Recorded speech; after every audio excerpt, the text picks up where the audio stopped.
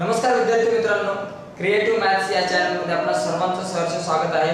आपण आज पाहणार आहोत इयत्ता दहावी बोर्डाच्या परीक्षेच्या दृष्टीने नववीला कुठले नववीच्या अभ्यासक्रमावर आधारित कुठले महत्त्वाचे प्रश्न आहेत ते आपण पाहणार आहोत. ई बालभारती या वेबसाईटवरती तीन प्रश्नपत्रिका दिलेल्या आहेत बोर्डाच्या. त्या तीनही प्रश्नपत्रिकेमध्ये नववीवर आधारित कुठले प्रश्न विचारले गेलेले आहेत ते आपण पाहणार आहोत. तर पहा पहिला प्रश्न हा संचय या प्रकरणावर आधारित आहे. ए चा पूरक संचय लिहा. आता ए चा पूरक संच म्हणजे काय? ए डॅश आपण त्याला म्हणतो. तो महिरपी कंसात घ्यायचा. आता ए मध्ये तीन पाच सात आहे ए चा पूरक संच म्हणजे ए मध्ये नसलेले. ए मध्ये कोण कोण नाहीये ते आपल्याला लिहायचे कोण नाहीये ए मध्ये? तीन पाच सात आहेत. एक नाहीये ए मध्ये. नऊ नाहीये. अकरा नाहीयेत आणि सतरा नाहीयेत पूरक म्हणजे जे नाहीयेत ते. जर असा प्रश्न विचारला असता संच ए लिहा. तर मग लिहिलं असतं तीन पाच आणि सात. आता गुणाकार करा. इथे गुणाकार करताना दोन कर्मी चिन्हात आता बारा आणि तीन करणी चिन्हात आहे. तर आपण काय करू शकतो? बारा गुणिले तीन. बरोबर दोन कर्मी चिन्हात बारा त्रिक छत्तीस. बरोबर दोन गुणिले वर्गमुळात छत्तीस म्हणजे छत्तीसचं वर्गमुळ आलं सहा. म्हणून दोन गुणिले सहा साई दुने बारा. तर अशा प्रकारे हा प्रश्न सोडवू शकतो अतिशय सोपा आहे. आता चार व पंचवीस यांचे मध्य प्रमाणपद काढा. गुणोत्तर व प्रमाण या प्रकरणातला प्रश्न. आता मध्यम प्रमाणपद समजा जर आपण एक्स मानलं इथे लिहायचं मध्यम प्रमाणपद एक्स म्हणून. किंवा समजा एक्स हे चार व पंचवीस यांचे मध्यम प्रमाणपद आहे. म्हणून मध्यम प्रमाणपदाचा वर्ग म्हणजे या दोघांचा गुणाकार येतो चार गुणिले पंचवीस. म्हणून एक्स वर्ग बरोबर पंचवीस चोक शंभर. पंचवीस चोक शंभर. मग एक्सचा वर्ग बरोबर शंभर आहे. आपल्याला एक्स ची किंमत काढायची आहे. म्हणून एक्स बरोबर शंभरचं वर्गमूळ दहा. तर अशा प्रकारे मध्यम प्रमाणपद काढू शकतो. एकदम सिंपल प्रश्न आहे. यानंतर पुढचा प्रश्न आहे एक्स अधिक वाय बरोबर पाच आणि एक्स वजा वाय बरोबर सात. तर एक्स ची किंमत काढायची. फक्त एक्स ची किंमत काढायची. मग आपण दोन समीकरण असे लिहूया समजा एक्स अधिक वाय बरोबर पाच समीकरण नंबर एक आणि एक्स वजा वाय बरोबर सात समीकरण नंबर दोन. आता या दोन समीकरणांमध्ये आपल्याला काय करावं लागणार आहे? वाय वाय कॅन्सल करायचं वाय कट झाला पाहिजे. कारण आपल्याला फक्त एक्सची किंमत काढायची आहे. मग वाय कॅन्सल करण्यासाठी इथं अधिक आणि वजा आहे. म्हणून समीकरण एक आणि दोन यांची जर बेरीज केली तर वाय काय कॅन्सल होईल.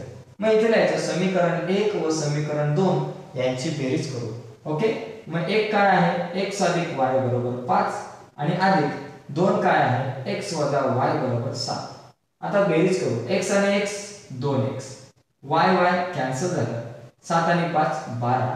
म्हणून आपल्याला कोणाची किंमत काढायची? एक्सची दोन गुणिले बरोबर चिन्हाच्या पलीकडे गेले भागिले झाले. म्हणून एक्स बरोबर बारा छेद दोन.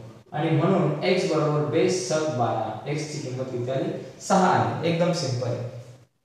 आता पुढचा प्रश्न आहे श्रीमती हिंदुजा यांच्या उत्पन्नावरती आठ हजार रुपये आयकर गणना गणना झाली. म्हणजे आयकर किती आहे? आठ हजार रुपये. तर आपल्याला काय करायचंय? त्यावरती म्हणजे या आठ हजार रुपयावरती तीन टक्के दराने किती शिक्षण उपकर भरावं लागेल? आता शिक्षण उपकर किती आहे तीन टक्के. मग इथं आपण लिहू शिक्षण उपकर आपल्याला काढायचा आहे उपकर. किती? तीन टक्के. किती रुपयावरती? आठ हजार रुपयावरती तीन टक्के. म्हणजे आठ हजार गुणिले तीन भागिले शंभर. तीन टक्के म्हणजे गुणिले तीन भागिले शंभर. चार टक्के असतं तर गुणिले चार भागिले शंभर. वीस टक्के असतं गुणिले वीस भागिले शंभर. असं केलं असतं. आता शून्य शून्य शून्य शून्य गेला. ऐंशी त्रिक आठ त्रिक चोवीस. म्हणून ऐंशी त्रिक दोनशे चाळीस रुपये शिक्षण उपकर यांना भरावा लागेल. ओके यानंतर सहावा प्रश्न आहे ऐंशी ते नव्वद या वर्गाचा वर्ग मध्य वर्ग मध्य म्हणजे काय? की या दोघांच्या मध्ये येणारी संख्या. मग आपण लिहूयात वर्ग मध्य वर्ग मध्य बरोबर ऐंशी अधिक नव्वद. काय करायचं? ऐंशी अधिक नव्वद. वर्ग मध्य काढताना एक गोष्ट लक्षात घ्यायची. ऐंशी अधिक नव्वद या दोघांची बेरीज भागिले दोन. ऐंशी अधिक नव्वद भागिले दोन. ऐंशी आणि नव्वद किती?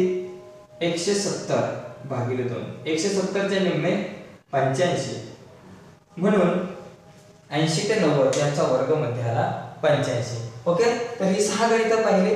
अजून काही गणित आहेत ते आपण थोड्याच वेळात बघूयात. ओके? थँक्यू पुढचा प्रश्न आहे ए बरोबर एक तीन चार पाच. आणि संच बी बरोबर पाच सहा सात. तर ए संयोग संच बी काढा. संयोग संच म्हणजे सगळे लिहायचे ए मधले सुद्धा लिहायचे बी मधले सुद्धा लिहायचे सगळे द्यायचे. बघा आता इथे मी डायरेक्ट लिहितो. संयोग संच ए मधले काय? एक दोन तीन चार पाच. ओके? आता बी मधला. पाच ऑलरेडी आलेला आहे. मग सहा सात. डबल नाही लिहायचा पाच हा दोन वेळा आलाय म्हणून त्याला एकदाच लिहिलं ओके? ए संयोग संच बी म्हणजे ए मधले पण घटक लिहायचे बी मधले पण लिहायचे सगळं लिहायचे. फक्त डबल कोणाला लिहायचं नाही. यानंतर ए छेद संच बी पण विचारला जाऊ शकतो अशा प्रकारे. ए छेद संच बी. म्हणजे काय? दोघांमध्ये समान. दोघांमध्ये समान कोण आहे? पाच हा एकच घटक समान आहे दोघांमध्ये. तर आपण छेद संच म्हणतो. हे पहिला प्रकारातलं गणित आहे. दुसरा प्रश्न आहे रूट पन्नास ला सोपे रूप द्या. आता सोपे रूप द्या म्हणजे काय? बघा याचे अवयव पाडायचे आतल्या. पन्नास ला दोनाने भाग जाईल. ओके? दोन गुणिले पंचवीस. पंचवीस दोन्ही पन्नास. आता पंचवीसचा वर्गमूळ किती बाबा? पाच आहे. पंचवीसचं वर्गमूळ पाच आपलं बाहेर आले आणि आतमध्ये राहिले वर्गमूळ दोन जसे तसे हे दिलं सोपरूप. खूप सोपं आहे. सोपरूप देणं खूप सोपं आहे. यानंतर कोटी सात असलेले त्रिपदी. कोटी किती? सात पाहिजे. कोटी सात म्हणजे सगळ्यात मोठा घातांक सात पाहिजे. त्रिपदी म्हणजे तीनच पद पाहिजे. समजा मी एक्स लिहिलं. तर सगळ्यात मोठा घातांक सात लिहून टाका एक्सचा सातवा घात आधी.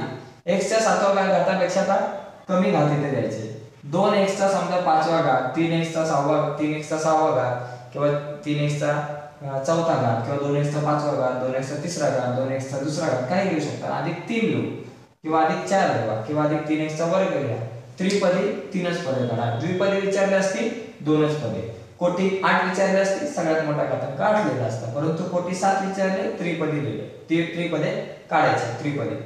म्हणून कोटी सात आणि तीन पद असलेली त्रिपदी ओके? यानंतर पन्नास ते वीसचे शतमानात रूपांतर करा. इथे काय करायचं? पासष्ट वीसचे शतमानात रूपांतर. पाच भागिले वीस. बरोबर. शतमानात रूपांतर जर करायचं असेल तर काय करायचं? गुणिले शंभरने गुणायचं. गुणिले शंभर करायचं. वीस एके वीस वीसा पंचे शंभर. किती आलं? पाचा पाचा पंचवीस. ओके? पंचवीस टक्के हे झालं शतमानात रूपांतर. कोणाचं? पाचास वीसचं शतमानात रूपांतर झालं पंचवीस टक्के. ओके? पुढे. यानंतर पुढचा मुद्दा तीन एक्स अधिक पाच वाय बरोबर नऊ आणि पाच एक्स अधिक तीन वाय बरोबर सात. तर एक्स अधिक वायची किंमत काढायची. आता ही दोन समीकरण आपण इथे लिहून घेऊया जशी तशी. तीन एक्स अधिक पाच वाय बरोबर नऊ समीकरण नंबर एक. आणि पाच एक्स अधिक तीन वाय बरोबर किती? सात. समीकरण नंबर दोन. आता आपल्याला काय विचारलंय? समीकरण एक्स अधिक वाय आपल्याला काढायचंय. मग एक्स अधिक वाय इथे पहा एक्स चा सहगुणक वाय ला गेलाय आणि वाय चा सहगुणक एक्स ला आलाय. अशा प्रकारे सहगुणकांची तर आदला बदल होत असेल. आणि एक्स अधिक वायची किंमत सांगितली. तर काय करायचं? सरळ समीकरण एक आणि समीकरण दोन ची बेरीज करू. इथं लिहायचं समीकरण एक व दोन ची बेरीज करू. मी डायरेक्ट लिहितो. जागा कमी आहे म्हणून. बेरीज केली तर पाच आणि तीन आठ एक्स अधिक पाच आणि तीन आठ. वाय म्हणून वाय आणि नऊ आणि सात सोळा. ओके?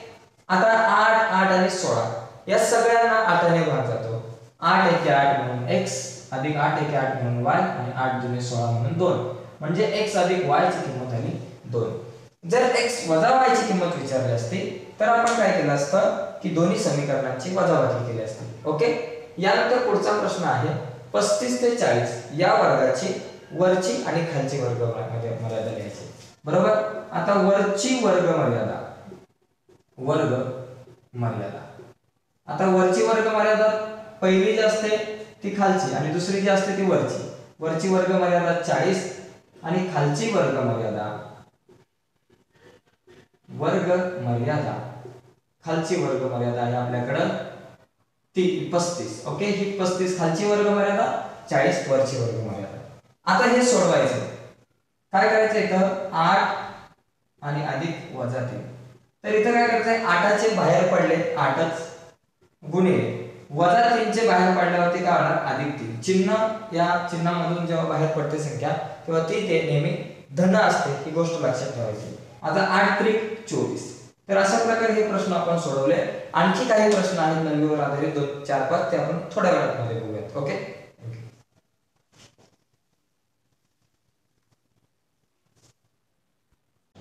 पुढचा प्रश्न आहे x बरोबर एक असताना. X चा चौथा घात वजा x चा घन अधिक पाच या बहुपदीची किंमत काढायची. उदाहरणार्थ आपली जी बहुपदी आहे तिला आपण म्हणू एक्स बरोबर एक्सचा चा चौथा घात वजा x चा घन अधिक पाच. आता x बरोबर किती? एक घ्यायचंय. म्हणजे x च्या जागेवर एक घ्यायचं किंमत काय? X चा चौथा घात आहे त्याच्याऐवजी एकाचा चौथा घात. X चा घन त्याच्याऐवजी एकाचा घन अधिक पाच. एकाचा चौथा घात एक वजा एकाचा घन एक अधिक पाच जसे तसे. एकातून एक गेले राहिले फक्त पाच. हे आलं आपलं उत्तर. एकदम इझी आहे. पुढे दिलाय एक्स हा सहा व नऊ सॉरी सोळा आहे. सोळा व नऊ यांचा भूमिती मध्ये आहे. तर एक्सची किंमत काढा. इथे घ्यायचं एक्स हा सोळा व नऊ यांचा भूमितीमध्ये आहे. म्हणून एक्स वर्ग बरोबर सोळा गुणिले नऊ. मगाशी या प्रकारचे एक गणित पाहिलं. सोळा नव्हे किती एकशे? चव्वेचाळीस. जर एक्स वर्ग बरोबर एकशे चव्वेचाळीस असेल तर एक्स बरोबर एकशे चव्वेचाळीस वर्गमूळ बारा. अशा प्रकारे हा भूमितीमध्ये म्हणजे काढू शकतो. पुढे दिले एक्स अधिक वाय बरोबर दोन. या समीकरणात एक्स बरोबर पाच आहे. तर वायची किंमत काढा. आता एक्स बरोबर पाच आहे. म्हणजे एक्स जागेवर काय द्यायचं पाच. वायची ची किंमत आपोआप आपल्याला निघेल. एक्स एक्सच्या दिलेलं ऐवजी पाच अधिक वाय जसा तर तसा बरोबर बारा. आणि म्हणून वाय बरोबर बारा आपल्या जागेवर पाच अधिक आहेत. बरोबर चिन्हाच्या पलीकडे गेले वजा पाच. वाय बरोबर बारातून पाच गेले सात. झालं? पुढचा प्रश्न आहे की आपल्या देशात वित्तीय वर्ष कोणत्या तारखेपासून कोणत्या तारखेपर्यंत असतं? आता वित्तीय वर्ष आपल्याकडे असतं एक एप्रिलपासून एकतीस मार्च पर्यंत ओके? हे लक्षात राहिलं पाहिजे. एक एप्रिल ते एकतीस मार्च दरम्यान आपल्याकडं वित्तीय वर्ष असतं. एक एप्रिलला सुरू होतं आणि एकतीस मार्चला संपतं. तर अशा प्रकारे आपण नववीवर आधारित एक गुणांचे प्रश्न पाहिलेले आहेत.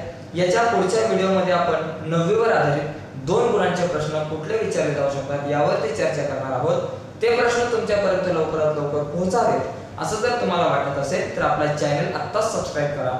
आणखी बऱ्याचशा इयत्ता दहावीच्या गणितावर आधारित व्हिडिओ भरपूर आपल्या युट्यूब चॅनलवरती आहेत. तुम्ही आपल्या युट्यूब चॅनलवरती जाऊन त्या सगळ्या व्हिडिओ पाहू शकताय. ओके आजच्यासाठी एवढंच. थँक्यू